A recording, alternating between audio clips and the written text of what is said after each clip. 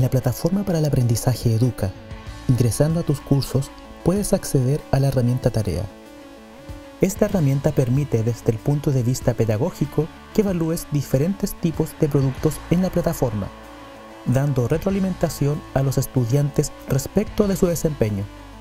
La herramienta Tarea se entiende como una actividad que permite solicitar a los estudiantes que completen una guía, desarrollen un resumen bibliográfico, resuelvan ejercicios, adecuándose a las necesidades del curso, pues ellos suben archivos como respuesta. Para realizarlo, puedes solicitar a los estudiantes que trabajen en dupla, grupo o individualmente, pero indicando a cada uno que ingrese a la plataforma, de modo tal que en el seguimiento de su participación todos registren acceso y trabajo en la plataforma. Existe otra forma de hacer grupos en las tareas, pero eso es materia de otro video.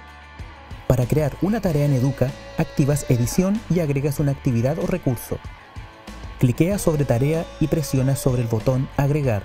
Una vez que estás posicionado en la creación de la tarea, debes asignarle un nombre que sintetice la acción que deben realizar los estudiantes.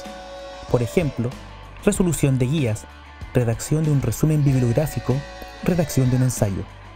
La idea es que sea pertinente a los fines de tu asignatura y que esté acorde al nivel del itinerario formativo en el que se encuentre el estudiante.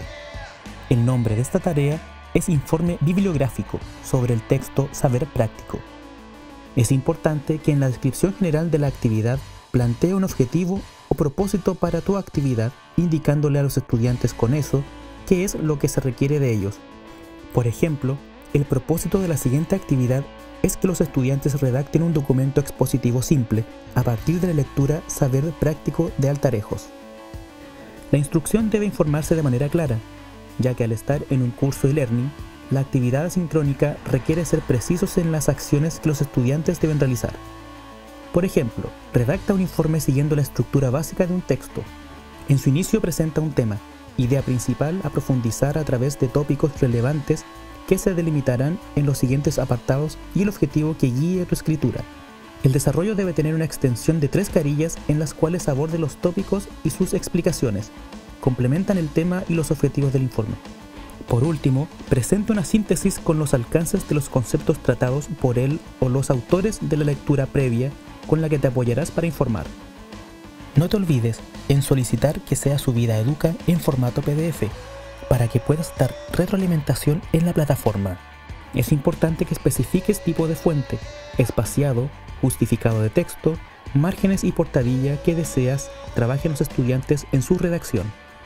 Para finalizar, dentro de tu instrucción debes señalar los plazos en las que tendrás disponible el buzón de entrega, para que cada estudiante organice sus tiempos.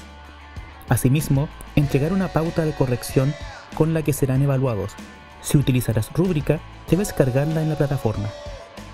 Antes de cerrar, es importante que los documentos o recursos digitales que los estudiantes requieren para la elaboración de la tarea estén dentro del curso en Educa, para que se encuentren con todos los materiales que son necesarios para su correcto desempeño.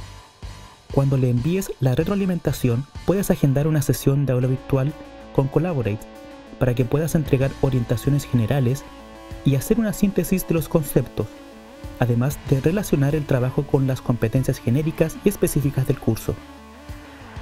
Si deseas hacer retroalimentación sobre la tarea entregada por los estudiantes, vas a calificar todas las entregas y pinchando sobre la tarea de cada estudiante puedes agregar comentarios en los apartados que requieran una mejora específica. A continuación veamos este tipo de retroalimentación, pero con otro tipo de texto escrito. Para facilitar la entrega de tus comentarios, tienes diferentes herramientas, como destacador, recuadros en los que puedes escribir tus recomendaciones y círculos con los que puedes destacar los párrafos o palabras clave que requieran ser mejorados por los estudiantes para alcanzar mayor puntaje. Esta opción gráfica ayuda a comprender las indicaciones del docente y es muy pertinente para dar retroalimentación asincrónica. Se asemeja mucho a los comentarios en los trabajos escritos que como docentes entregamos en el aula y que desde Educa apoyan nuestra docencia en línea haciéndola más cercana y concreta con nuestros estudiantes.